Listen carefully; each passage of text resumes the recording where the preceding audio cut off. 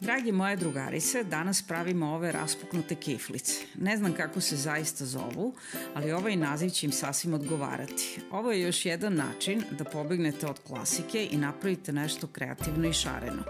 Tehnički nije zahtevno, postupak je jednostavan, a krajnji rezultat veseo i ukusan. Ovakve kiflice su manje testaste od običnih, više dišu i mirišu, fil se bolje osjeća, pa nadam se da sam vas ubedila. I još jedna moja preporuka, napravite ih mnogo jer će veoma brzo da nestanu.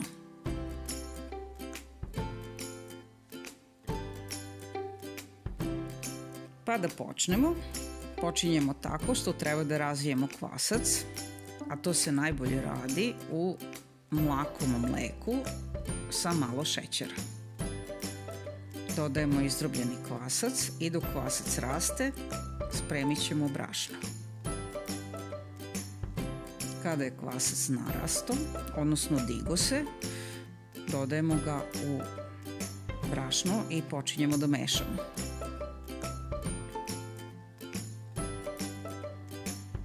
Dodajemo i ostale sastojke, a to su ulje, dodat ćemo jaje, posolit ćemo. Nastavljamo da mešamo i postepeno ćemo da dodajemo brašno, dok ne dobijemo gustinu koju ćemo morati da radimo rukom.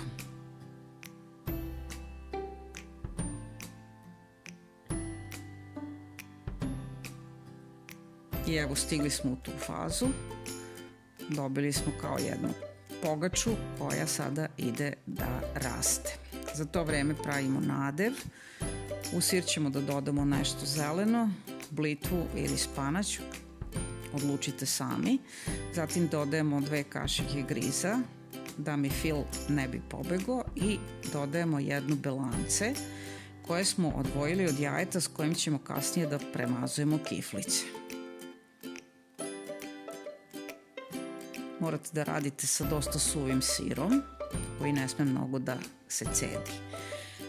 Testo je naraslo i sada ćemo da radimo sa njim. Malo ćemo još da ga premesimo.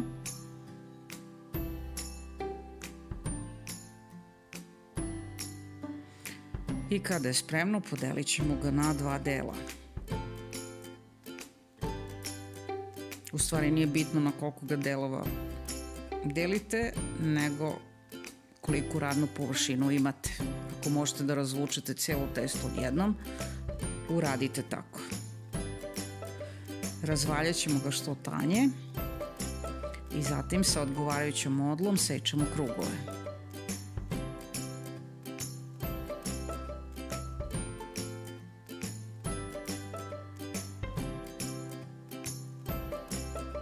Višak testa takođe ponovo koristimo.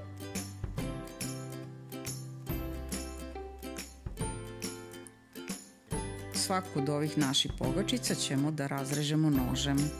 Pravimo rebarca. Zatim dodajemo nadev. Ostaje nam samo da zavijemo kiflicu. I evo, gotova je. Mislim da tu nema ništa više posla nego kada pravite obične, usudit ću se to da kažem, a krajnji rezultat je vrlo šaren i vesel.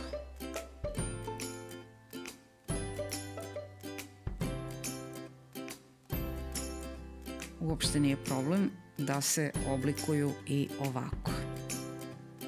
A mnogo su slatke.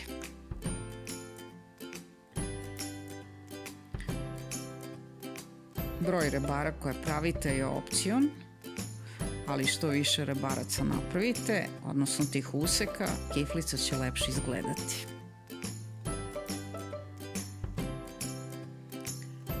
Posložit ćemo ih u pleh obložen papirom. Ostaje nam samo da ih još dodatno ukrasimo, da ih premažemo sa jajetom, odnosno žumancetom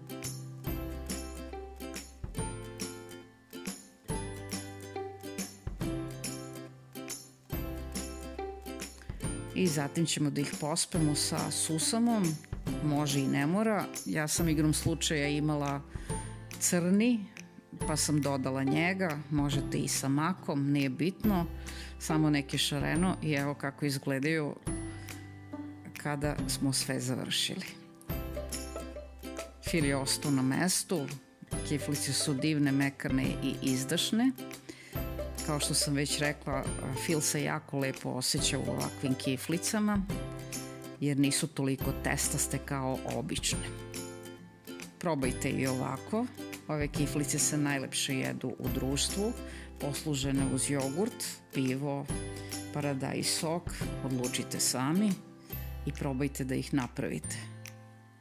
Pišite mi kako vam se sviđa i prijatno.